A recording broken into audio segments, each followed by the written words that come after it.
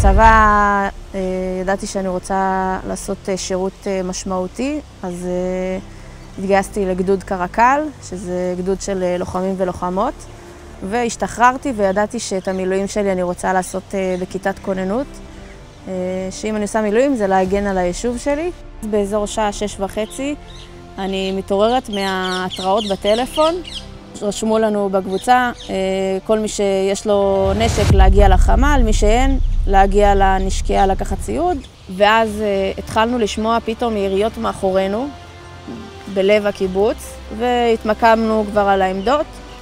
Uh, התחלנו לזהות מחבלים, התחלנו לפתוח באש, ואז הגיע השלב, השלב השני של המחבלים. המחבלים בקיבוץ אצלנו, היה את החדירה הראשונה שהגיעו באזור ה-30, והיה את, החדירה, את הניסיון החדירה השני, שזה עוד אה, מסה של אה, מחבלים, שבאזור ה-30-40, על טנדרים, אופנועים, טרקטרונים, ופשוט כמויות שרוצים להיכנס לקיבוץ. יצרנו איזה חצי מעגל, שסגרנו את המחבלים שהם לא יכולים לעבור אותנו. פשוט מה שקרה, הם פשוט ברחו. הם הבינו שאין להם אפשרות להיכנס.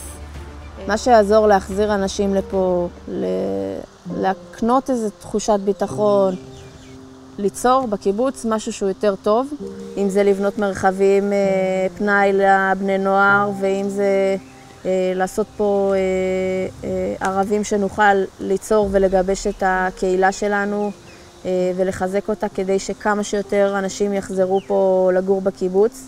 כאילו מבחינתנו, כל העזרה הזאת היא... זה משהו שהוא לא מובן מאליו, אבל אנחנו הבנו שהגענו למצב שאנחנו כן צריכים עזרה, ולפעמים כן צריך לבקש עזרה.